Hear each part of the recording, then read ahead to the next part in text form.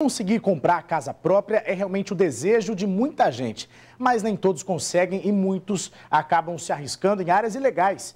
É o caso de alguns moradores de Botucatu. Vamos ver.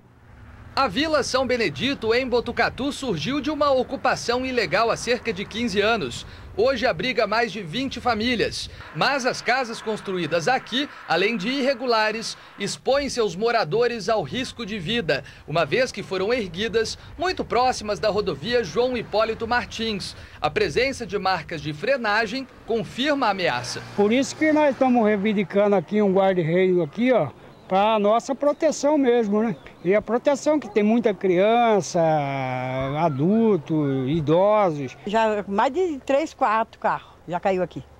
Mas chegou a atingir a casa da senhora? Não chegou a atingir, porque tinha uns barrancos aqui, então os barrancos seguravam aqui, tinha os pau aqui. Mas e agora tirou tudo, a máquina passou, veio até aqui, agora ficou meio limpo aqui. Então a gente tem medo de cair nas casas aqui. Neste momento, o coordenador da Defesa Civil do município, Domingos Chávari Neto, faz vistorias no local. Vamos saber então a avaliação dele. Seu Domingos, qual é o perigo que esses moradores correm aqui?